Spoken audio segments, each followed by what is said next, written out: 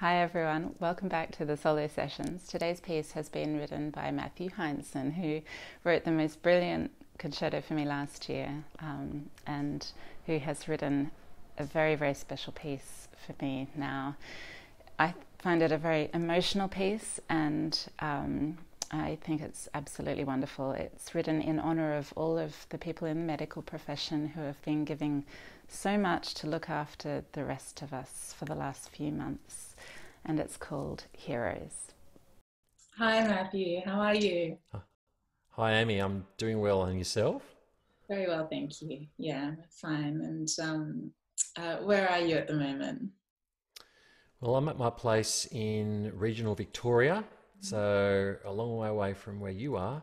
Mm. Um, and it seems like, I mean, I've been in isolation now, pretty much self imposed isolation for two and a half months. In fact, I came back from the UK just as everything got shut down. So, uh, yeah, it's been a really interesting time, but I'm really pleased to be out of the big city, I must say. It's a, it's a different type of experience. Well, thank you for writing this piece. I have to say, it is just, um, it's a very emotional piece to play. It it just really gets to me every single time I play it. And quite often I've had to wipe away a tear at the end. So um, I, I, think it's a very, very special work, and I'm really grateful that you've written it. Um, you've called it Heroes, and I think that's about the, the uh, medical professionals that have been giving so much to us. Um, over here in, in the UK, every Thursday night we stand on our balconies or at the front of our house and bang a pot or clap or cheer or you know people in cars toot their horn and we just generally make as much noise as possible. So it feels very nice to be um, doing something slightly more musical to acknowledge their what they've done.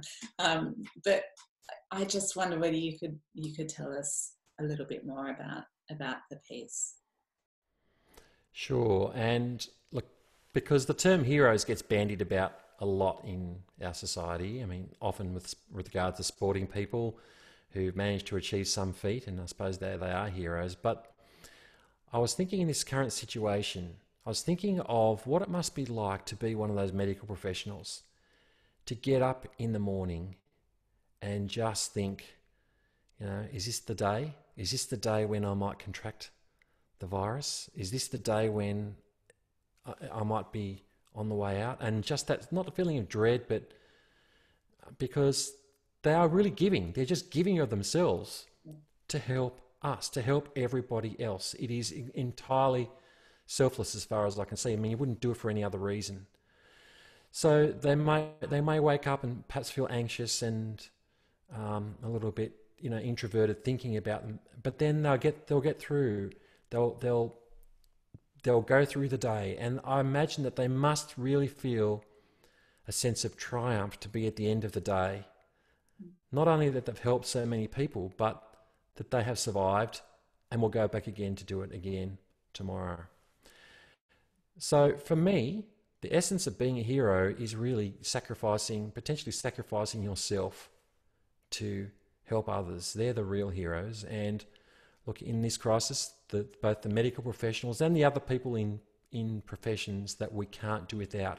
Who I mean, I'm very lucky because I've been in isolation. I can work from home. But how about all those other people who are doing it so tough, who are not just um, doing it tough in their normal jobs, but who in fact are potentially putting their lives on the line so that the rest of us can not just have a good quality of life, but actually can live and survive to go to do what we do tomorrow and next week and next year and the next decade into the future.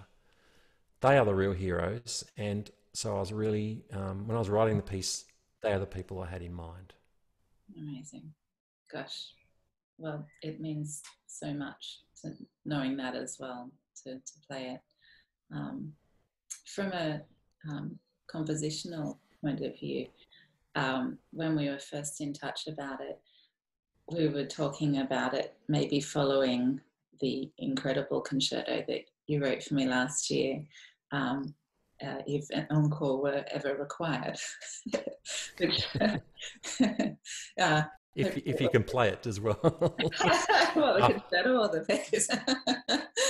Well, after after you played the entire concerto, are you up for an encore? It's a pretty pretty big piece. it's it's not small, yeah.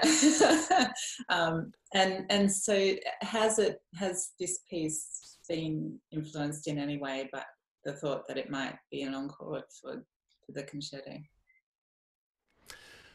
Well, in a way, in a way, it, it is because um, in the concerto for you, Amy, like in the second movement in particular, I was really thinking of your amazing, amazing tone and your and incredible phrasing, and your extreme musicality uh, at, at, doing slow music on display, which I really loved when I heard it. I mean, I've known it for a while, but hearing your own music played by you in that regards, um, that was, I think, you know, I was thinking, you know we know that Amy can do anything, but let's, I want to focus on that. And particularly, I mean, it was that marriage of the idea about having you play it and you, you doing it with, with what you can do combined with, uh, you know, it is a hard on the sleeve piece. It's, uh, I don't believe this situation calls for holding back. I think it's all about, this is how I feel.